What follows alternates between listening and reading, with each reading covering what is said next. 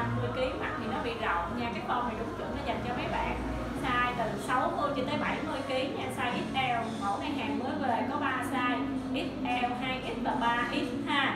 Ở dưới like nó làm kiểu có thêu và có viền phọc mà rất là đẹp luôn nha.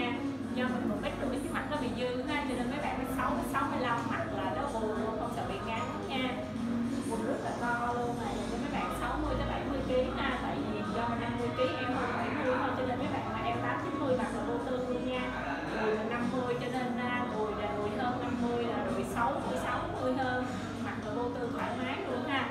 Cái khung đều từ trên xuống dưới luôn nhau mà hàng cao cấp. Rất là đẹp luôn. Cái sau của nó là có hai túi ha. Jean này mặc đi à, học hoặc đi làm, đi chơi cũng được nha. Rách của nó rách vừa nó không có